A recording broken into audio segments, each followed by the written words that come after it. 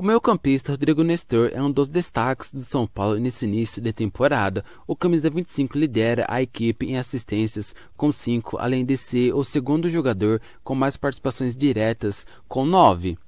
Na última quinta, Nestor foi eleito o melhor jogador da partida contra o Jorge Wilstmann pela Copa Sul-Americana. O jogador anotou dois gols na primeira etapa e ainda deu passe para o tento de Patrick no segundo tempo. Em pouco menos de 60 minutos em campo, o volante acertou no alvo todos os chutes que tentou, além de dar três passes para finalizações. Com mais uma ótima atuação, Rodrigo Nestor vive a melhor temporada da carreira em números de gols, com quatro até agora. Além disso, é o vice-artilheiro em finalizações com 41 e o terceiro em desarmes com 28 entre todos os jogadores da equipe.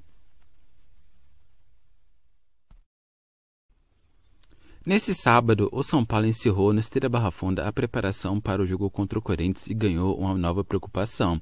Com a amidalite, o atacante Rigoni foi liberado da atividade e virou dúvida para o clássico. Segundo o clube, o jogador será reavaliado posteriormente para saber se poderá ser relacionado.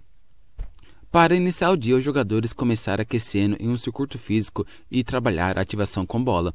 Em seguida, o técnico Rogério Ceni comandou um trabalho tático de 11 contra 11. Por fim, os jogadores realizaram atividade técnica que contou com circuito de finalização e, e aprimoramento em cruzamentos e troca de passes.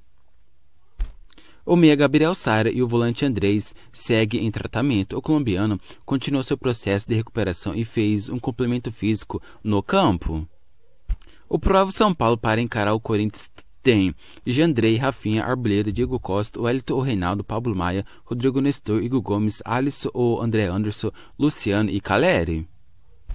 O São Paulo pode assumir a liderança do Brasileirão caso vença o Corinthians nesse domingo. A equipe tem 11 pontos contra, contra 13 do líder Corinthians. Murici Ramalho detalhou o processo que culminou com a saída do atacante Marquinhos do clube. Formado em Cotia, o jovem atleta está de malas prontas para o Arsenal, e de acordo com Murici Ramalho, a diretoria fez de tudo e só o fato de conseguir quase 3 milhões de euros na negociação já representou uma vitória. O grande problema foram os contratos feitos que era de 5 anos e de, e de, validade apenas no Brasil, infelizmente. Não se deram conta disso na época quando fizeram o contrato.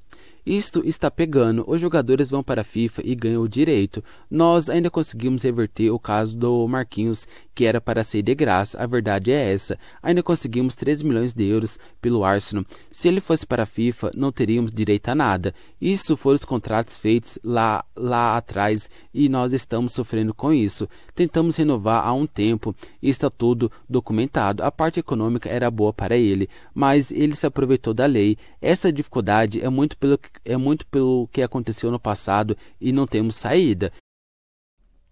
Murici ainda relatou que a diretoria está correndo atrás de outros jogadores cujos contratos estão na mesma situação. Estamos chamando vários jogadores, pois vários fizeram esse tipo de contrato lá atrás. Já renovamos com muitos jogadores. O Biasotto está fazendo muito isso, é o maior trabalho que ele está tendo lá. Ainda falta bastante, mas essa dificuldade é muito pelo que aconteceu no passado. Finalizou Murici.